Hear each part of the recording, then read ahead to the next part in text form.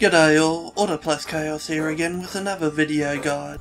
I lost the first few times with this deck, but as soon as I fixed it up, I won three games in a row with it, so must have been pretty good. The only creatures I have in there, I think are the flying creature that you can bring back from the dead, and also the cheap ass creature you can bring out that destroys artifact. You sacrifice it to destroy an artifact. The rest of them are spells, and the main spells you're looking for in there, above others, are ones that affect multiple creatures, or do heavy and cheap damage as well that's pretty good, even if it's only against a single target unit. Krenko is pretty easy to control, especially if you can keep population down. On one of them I got a whole heap of land and just one creature, and every turn I was just bringing in one spell that would destroy his creatures, and my creature just kept flying over his, well nobody was still alive so he just kept destroying them, and all my spells were used against his creatures, so that was a pretty good one. Enjoy!